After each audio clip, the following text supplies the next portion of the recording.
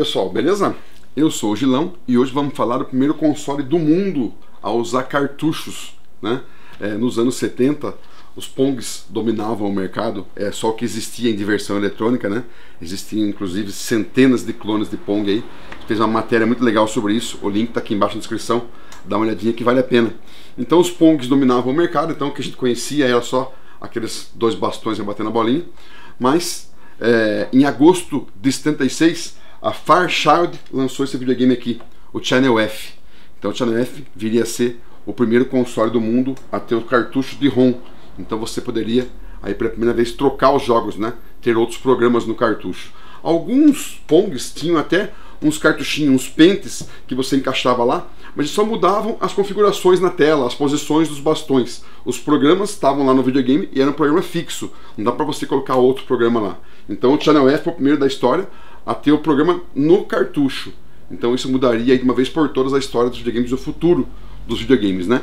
E o Channel F, ele tem processador de 1,79 MHz, ele tinha dois, dois não, 64 bytes de RAM, né? E custava 169 dólares. Ele tinha é, só um canal de som e o falante, inclusive, é embutido no aparelho. Vamos ver um pouquinho mais sobre isso depois da vinheta. Fabião, solta a vinheta aí.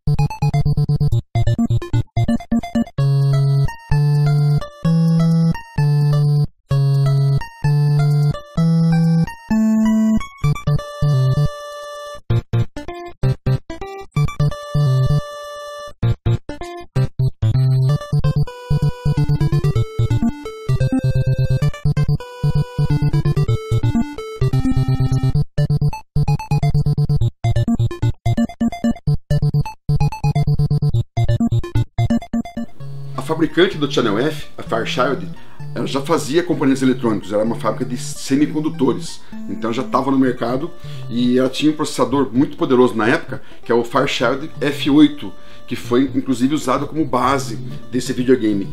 Quem projetou, né, quem desenvolveu esse processador foi o Robert Noyce. Para você ter uma ideia é, da inteligência, da importância desses caras, o Robert Noyce, alguns anos depois, fundou a Intel. Então só para você ver a equipe que os caras tinham na época. Então o videogame, esse é o primeiro modelo, ele é um game um tanto rústico, tem um, um, uma das curiosidades dele, fora várias, né? O fato de ser o primeiro do mundo a usar cartucho, mais usar esse processador F8 que era muito poderoso para a época, e seria pela primeira vez usado um, um, processador com inteligência artificial. Então você poderia aí, eh, na época, enfrentar o computador, né? Num jogo de cartas, num jogo de xadrez, né? Ou num jogo de gamão. E isso no jogo da velha, que eu, que eu joguei agora há pouco. Então seria pela primeira vez um chip com inteligência artificial para você enfrentar o computador. Uma coisa imaginável, né? Inimaginável, aliás, desculpe. Inimaginável até então.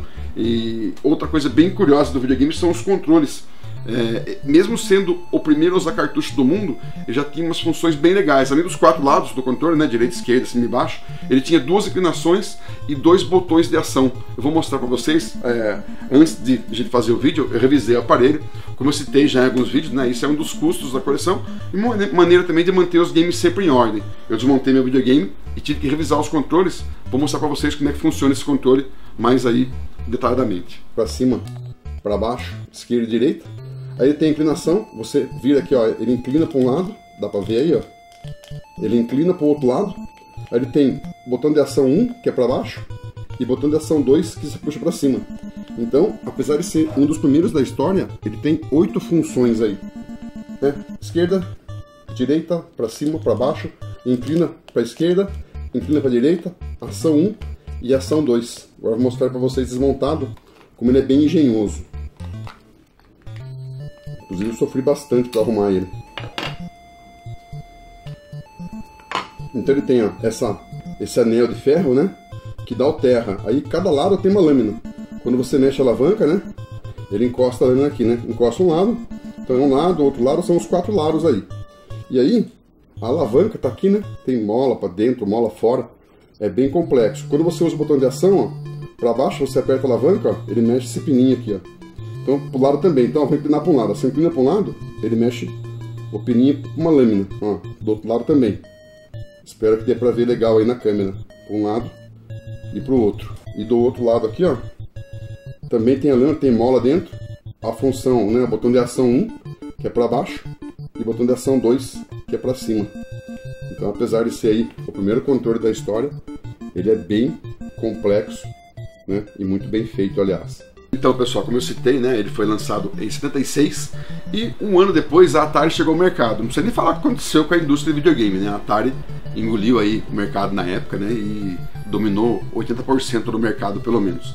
Então a Channel F não conseguiu manter uma longevidade né, muito grande e com dificuldades financeiras já, em 79 ela vendeu esse projeto, essa marca para a Zircon e a Zircon lançou o Channel F2 esse aqui é o primeiro modelo. Então, o primeiro modelo, ele tem os controles, né? Eles são fixos. Tem os cabos lá, eles são fixos, né? E você guarda eles aqui e tem uma tampa de acrílico. Até bem bonita no videogame. No segundo modelo, eles lançaram ele já com os controles encaixados, não, não eram fixos, e sem essa tampa de acrílico por cima né? E no segundo modelo também, nesse primeiro modelo, o som sai dele. Vocês vão ver ele ligado daqui a pouco, ele vai jogar mais. O som sai dele. No segundo modelo, o som já saía da TV. Então, em 79, a Zircon comprou esse projeto e lançou o Chanel F2. Channel F, the one with all the fun. The Fairchild Video Entertainment System at your larger JCPenney. The home entertainment system that never gets old. Plug in a new video cart and change the fun. Play tic-tac-toe, shooting gallery, or just doodle. Switch video carts and play Desert Fox. Switch again, it's Blackjack. Or play the two built-in games, Pro Hockey or Tennis Champ. Channel F for fun. The Fairchild Video Entertainment System. Just $169.95. Video cart cartridges, $19.95 each. At your larger JCPenney. como o Channel F, né, foi o primeiro do mundo a usar cartuchos, né, os cartuchos dele também eram um show à parte, né, eles tinham uma arte bem legal, é, foram lançados para ele 26 cartuchos. O legal é, do Channel F é que os cartuchos vinham com número, né, então é, é, é bem simples, do 1 até o 26. Aí cada cartucho, alguns vinham com um jogo, outros vinham com dois ou três jogos, todos muito simples, né, pessoal, claro que é o primeiro do mundo. Então os jogos são bem simples, mas ele vinha numerado do número 1 até o 26. Então foram lançados 26 jogos para eles e mais um homebrew. Esse homebrew é o Pac-Man. Inclusive o rapaz que fez o homebrew teve até o capricho de colocar o número 27. Ele seguiu a ordem né, dos cartuchos e lançou o, o Pac-Man, o primeiro homebrew e único homebrew dele, né, como o número 27 na sequência. É, esse cartucho, vou tirar para vocês verem aqui. É bem interessante, tem uma arte bem legal, né? que o cartucho do Channel F é bem acabado e quando você encaixa ele no videogame, ele tem uma proteção aqui que evita de sujar os contatos do videogame. Aqui tem essa bandeja onde você encaixa o cartucho. Então, como eu falei, foram lançados 26 jogos. Do primeiro até o 21, é, quem fez foi a Fairchild. E depois do 22 até o 26 foi a Zircon que comprou os direitos, né? É, da Fairchild para fabricar o videogame. É, quem fazia essas artes bem interessantes, parece aí meio do Romero Brito, né? Apesar que eu acho essa mais bonita. Foi o Peter Max, foi o, o, o artista que desenhou todas as artes do Channel F.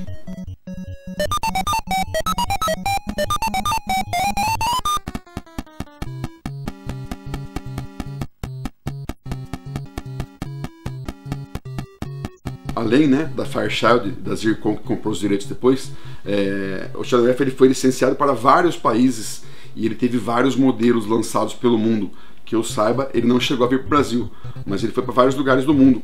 Ele foi para a Suécia, ele chamava Luxor Video Entertainment System, é, para o Reino Unido, né, para a Inglaterra, ele chamava Adam Grandland, inclusive Grand Stand, desculpa, inclusive ele é só é o mesmo videogame praticamente com adesivo em cima. O, o, país que ele mais fez sucesso foi a Alemanha, se eu não me engano, que ele teve três modelos bem importantes: o Saba Videoplay, Nordman Teleplay e o ITT Telemet. Inclusive, esse ITT Telemet, alguns modelos, como eu citei, eles eram iguais, mas esse ITT Telemet ele era meio prateado e com os, os controles com botão colorido. Era um videogame muito bonito e muito difícil de achar. Ele foi lançado na França também pela Barco, na Itália pela Emerson, foi lançado também na Bélgica, no Japão e mais alguns países. Todos eles, eles usavam os cartuchos, eles eram compatíveis. Mas a Saba alemã, ela fez, é, ela lançou 20 jogos. Ela tinha uma arte diferente, inclusive. Ela lançou 20 jogos para o, Channel F alemão, né, para o Saba. E inclusive quem me ajudou nessa matéria aqui foi o Marco Lazeri. Obrigado, Marco, pela força. o Marco manja muito, né? De games antigos, né? De, de Channel F também.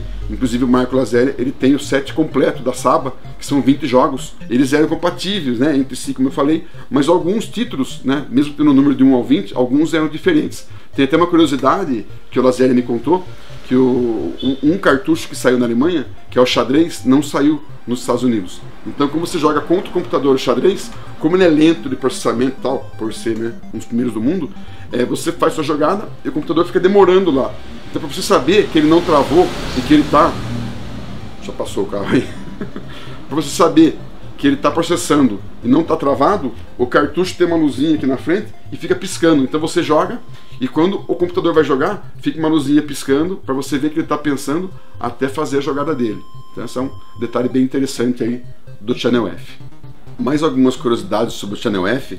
É, a princípio, no projeto e logo no lançamento, ele não ia chamar Channel F, ele ia chamar Fairchild VES, Video Entertainment System Acontece que a Atari já estava começando a anunciar e a se pronunciar sobre a Atari 2600, né? Que chamava Atari VCS. Então, como o nome ia ficar muito parecido, a Fairchild pegou, mudou de ideia, né? E logo depois já mudou o nome dele para Channel F. É, mais uma outra curiosidade, o Ralph Baer, né, criador do Magnavox Odyssey, também já foi assunto aqui do Games que Pariu, vale a pena conferir. Ele fez o primeiro videogame comercial do mundo. Ele confessou várias vezes que o sonho dele, o sonho do Ralph Baer, era ter um videogame com cartuchos de ROM. Né? Infelizmente, ele não chegou a realizar esse sonho. A Channel F fez isso.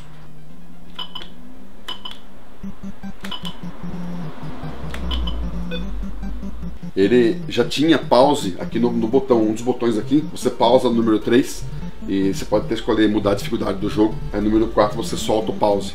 Então ele já tinha pause, mesmo sendo lançado antes do Atari, antes do Odyssey e tal, ele tinha pause. Outra curiosidade, nas minhas pesquisas, eu pesquisei bastante sobre o Channel F, tem pouca informação dele. Eu não vi outro vídeo do Channel F no Brasil, né?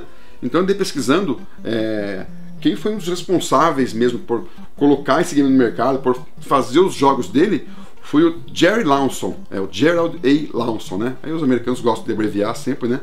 O Jerry Lawson era um, um engenheiro da Fairchild e ele trabalhava na empresa e ele era responsável por dar curso em alguns computadores. O PDP-8 era um computador que eles tinham lá e ele levava o computador para casa dele e dava curso para o pessoal que chegava. Ele dava curso para esses caras. Ele gostava muito de programar, tal, era um, um gênio da programação na época. E ele começou a participar de um clube que fazia softwares e tal.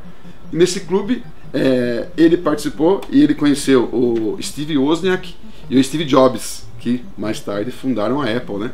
Então ele foi parceiro desses caras, só para você ver a, a genialidade desses caras na época. Então, o, o, o, Jerry Lawson, ele pegou esse chip da Fairchild, esse F8, que era um chip poderoso para a época, e montou um arcade. Ele fez um arcade. Se eu não me engano, era Demolition Derby. Ele fez um arcade e colocou na pizzaria lá. Isso ele fez por conta, sem autorização da, da Fairchild. Aí a Fairchild viu é, essa máquina, ficou sabendo desse projeto que ele fez né, por conta própria e começou a se interessar mais por isso. E aí, né, o Jerry Lawson começou a amadurecer a ideia, né, colocou essa ideia dentro da Fairchild e mais tarde lançaram o Channel F. Então, o Jerry Lawson foi o responsável, né, foi a mente por trás aí, né, a mente criadora do Channel F. E é um cara que não foi muito muito reconhecido né? nem é muito conhecido na história dos games. Isso acontece muito, né? várias pessoas, vários gênios aí da história do videogame não têm o seu devido reconhecimento. Ele foi reconhecido em 2011. É, depois da, da, da nos anos 80, ele montou a Videosoft. A Videosoft fazia inclusive cartuchos para Atari. Aí, alguns uns 4 ou 5 anos depois, ele saiu do mercado e ficou afastado. Em 2011, a Game Developers Association, uma entidade lá, é, homenageou o Jerry Lawson em 2011 e foi até um fato curioso e trágico. Dois meses depois da homenagem, ele veio a falecer. Né? Então é um personagem muito importante aí. O Jerry Lawson, eu não, não, não vi é, muito comentário sobre ele, muita história sobre ele, mas é o cara que, que criou aí praticamente o primeiro videogame em cartucho do mundo. Então vamos ligar o aparelho aqui, ó, sem jogo, ele vem com dois jogos de memória. Quando você liga, você pode escolher jogo 1 um ou 2, né? O 1 um seria Pra mim era futebol, mas pra eles é o hockey, né? E o 2 seria o tênis. A gente vai escolher o tempo aqui, né? E vamos dar start. Aí, como ele vem na memória, seria quase que um Pong. A diferença aqui é que o controle, além dos quatro lados igual eu mostrei, né? Ele tem a inclinação. Você inclina ele para um lado, aí vai dar efeito na bolinha. A física é muito boa, apesar de ser um Pong, né, praticamente que já existia. Ou inclina para outro lado. Olha lá. E mais um detalhe, ele tem uma, um botão de ação para baixo, que o goleiro vai descer, né? Ó, e para cima tem outro botão de ação. Então para baixo, ó, o goleiro defendeu, para baixo e para cima. Então ele tem os quatro lados, né? Duas inclinações e dois botões de ação. Isso mesmo sendo o primeiro em cartucho do mundo. E o som sai aqui do, do videogame, não sai da TV. Mais uma história bem curiosa que eu descobri pesquisando tudo isso aí, né? O Jerry Lawson, ele é engenheiro da, da, da Fairchild, e isso muito antes de lançar o videogame, né? Quando ele só fazia programação e tal. E eles estavam precisando de mais engenheiros mais técnicos, então o Jerry Lawson fez uma entrevista com o Steve é, Wozniak, né? Que era amigo dele de programação e tal. E nessa entrevista o Jerry Lawson não contratou o Wozniak. Então, e aí mais tarde, né? O, o Steve Jobs, junto com o Wozniak, fundaram aí a Apple, que todo mundo conhece a história. Então, ele era amigo do cara, mas não contratou o cara. Ele deve ter se arrependido depois, né? mas acabou não contratando o cara. Então, finalizando a história, o, o Channel F ele foi descontinuado em 81 e vendeu 250 mil unidades. Ele foi o primeiro do mundo, é um videogame muito importante, pouca gente conhece a história dele, pouca gente sabe que ele foi o primeiro porque o Atari ela popularizou os cartuchos. Então quase todo mundo, 95%, 9% das pessoas lá, eu acredito que acham que o Atari foi o primeiro. Eu até uns 6 anos atrás achava que o Atari era o primeiro do mundo a usar cartuchos, mas não foi o Channel F. Então a gente vai sempre descobrindo coisa importante, né? não dá pra falar que ele foi um game que não teve sucesso. Ele não vendeu tanto, mas ele foi muito importante na história. E como eu também citei a história né, do Jerry Lanson, um cara genial, foi o cara que meio que criou na cabeça dele o primeiro game em cartucho do mundo, não foi também devidamente conhecido. A gente vai aprendendo isso em cada história que a gente conta aqui no Games que Pariu. A gente também acaba descobrindo a história dos games. Isso que é legal, antes de compartilhar com vocês. Então eu queria agradecer mais uma vez ao meu amigo o Lazeri, que ele manja muito de Channel F, mandou para mim umas matérias legais, é, ele sabe tudo de cabeça, ele manja muito, ele gosta, ele tem o full set, a gente colocou foto, né, nos vídeos inclusive. Obrigado Lazeri pela força aí.